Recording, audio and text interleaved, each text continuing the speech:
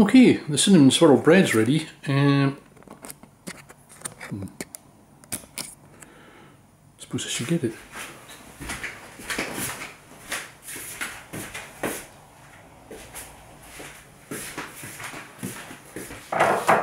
Okay, I didn't have two bread tins, so they use this one.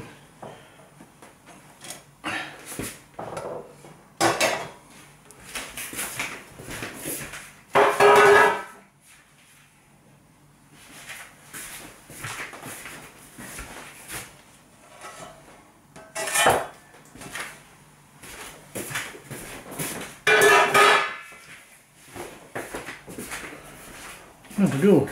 That second one's split open so you can see all the cinnamon and sugar inside it. But basically, it's going to go cold. We're going to slice it up, toast it, butter it, knead it. And the kitchen smells amazing.